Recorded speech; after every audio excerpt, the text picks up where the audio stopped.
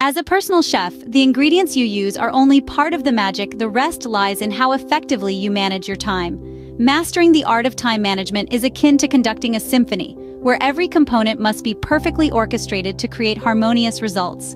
Every personal chef understands that each dish has its rhythm and pace. From the slow simmering of a hearty stew to the quick sear of a tender steak, each process demands its own carefully allocated slice of time.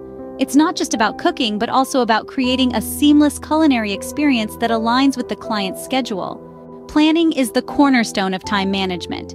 This involves understanding the client's preferences, dietary requirements, and their schedule. Creating detailed menus ahead of time, sourcing fresh ingredients, and prepping beforehand are all vital steps in this process. It's like laying the foundation for a culinary masterpiece. A crucial aspect of time management for personal chefs is multitasking. While one dish is baking in the oven, another might be simmering on the stove, and yet another could be in the process of being plated. Juggling these tasks simultaneously requires skill, focus, and a keen sense of timing. Efficiency is another key element.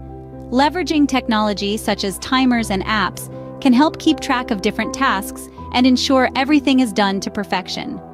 Using the right tools and appliances can also speed up processes and improve precision.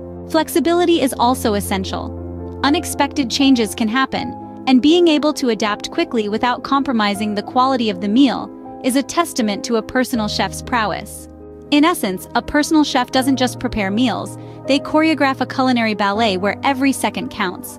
They dance to the rhythm of boiling pots, sizzling pans, and ticking timers, creating a symphony of taste that delights the palate.